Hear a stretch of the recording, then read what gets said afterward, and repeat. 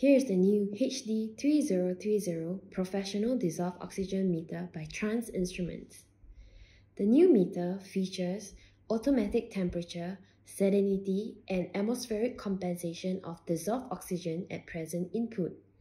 It also features 99 data memory with real-time and date recording, backlight display in dark situation, and online data logging with optionally purchased PC data connection kit.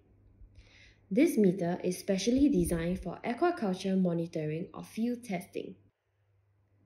The meter comes in a hard carrying case where user is able to carry anywhere in the field. Unlock the case by lifting the red latch. Let us run through the items in the package. We have here the main meter, a submersible probe, a bottle of electrolyte, syringe set, two spare membrane cap with O-ring for probe maintenance, four AAA batteries, and an operational manual.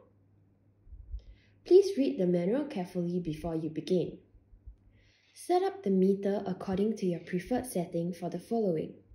The unit of measurement for temperature reading, auto off setting preferably set to 120 minutes, atmospheric pressure of the measured altitude, salinity of the measured liquid, time and date for data recording. Open the battery cover behind and place four AAA batteries according to its polarity.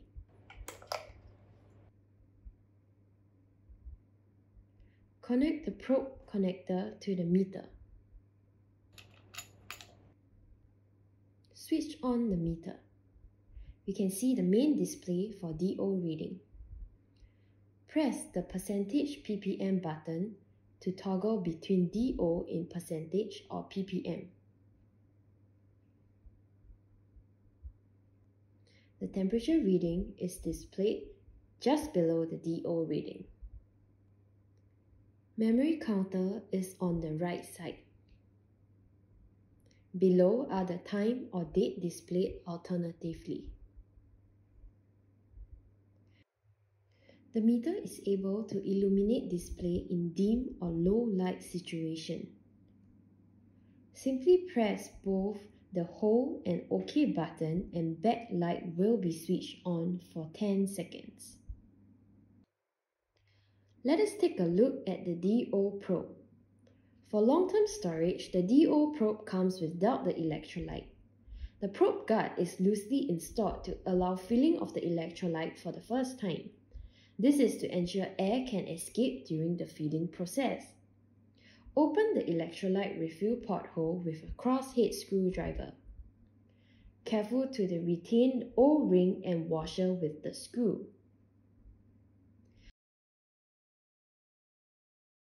Now fill the chamber fully with electrolyte with sensor tilted upwards.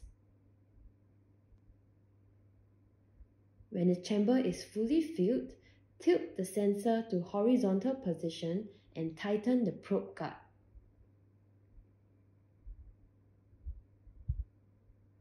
Replace the plastic screw together with O-ring and washer to the electrolyte refill pot till O-ring is compressed. Do not over tighten. This DO probe is a polarographic type electrochemistry sensor. The sensor needs to be fully polarized on first use. Preset the auto off feature to 120 minutes. Please read the operation manual for more details. Wait for at least 20 to 30 minutes to allow full polarization for the first time and whenever new electrolyte or membrane are installed. On subsequent use, whenever the meter is switched off for more than 10 minutes, wait for 5 to 10 minutes for polarization to take place before calibration or measurement. Avoid switching off the unit if a series of tests are to be made. This is to save time so you do not have to polarize the sensor every time when the unit is switched on. After polarization, we can now proceed to perform a calibration. Do note that DO readings are affected by the atmospheric pressure and salinity of the liquid. Please read the operational manual to preset the altitude or pressure of the environment and salinity of the liquid so the readings can be automatically compensated for instantaneous display. Always calibrate the sensor in air before a series of tests. Calibration should be performed in an environmental temperature of not more or less than 10 degrees Celsius of the water temperature. Example, if the water temperature is 15 degrees Celsius, then the air temperature should be between 5 or 25 degrees Celsius during calibration. After polarization, press the Cal button to activate calibration. The display will show reading in percentage while the ready sign flashes. When the ready sign stops flashing or when the reading does not deviate after 10 seconds, press the OK button to confirm. Display will show 100% reading and calibration is complete. Press the percentage ppm button to switch ppm reading.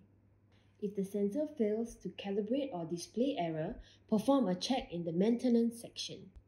We can now proceed to take a measurement in the water. As all polarographic sensors consume oxygen on the surface of the membrane during measurement, the sensor must be constantly stirred or jiggle up and down to refresh water on the surface of the membrane. Otherwise, reading will not be uh, accurate. When reading is stabilized during stirring and DO reading stay constant for 10 seconds or more, you can record the reading.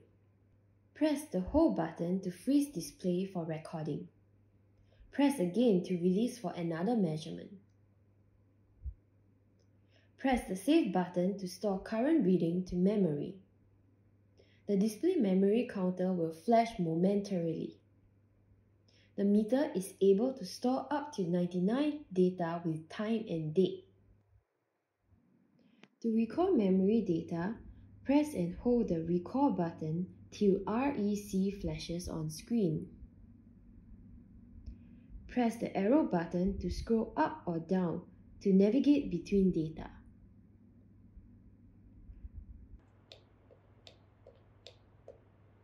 Press exit to return to measuring mode. Maintenance procedures for HD3030. The DO membrane is a delicate film and can be punctured easily. When readings are unstable or fails to read, the membrane must be replaced.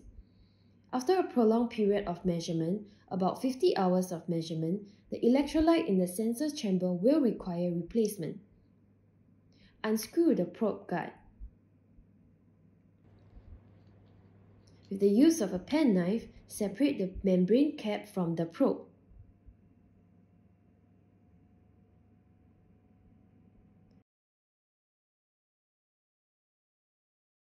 Unscrew the electrolyte pot hole and drain the electrolyte completely.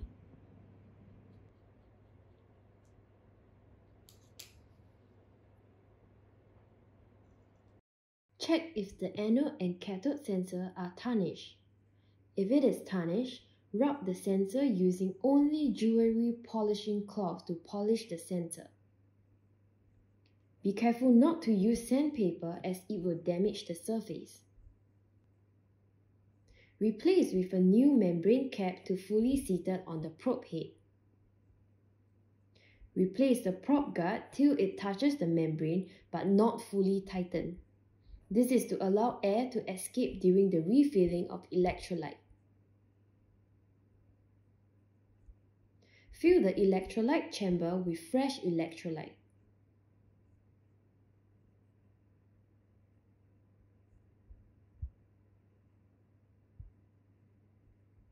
Tighten the probe guard and close the pot hole with the screw and O-ring.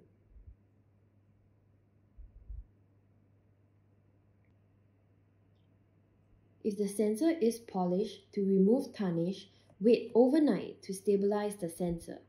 Otherwise, error will occur due to static charges on the surface. If sensor is not polished, switch on meter and wait for 30 minutes before proceeding to calibration in air. That is all for the brief introduction to the HD3030 dissolved oxygen meter.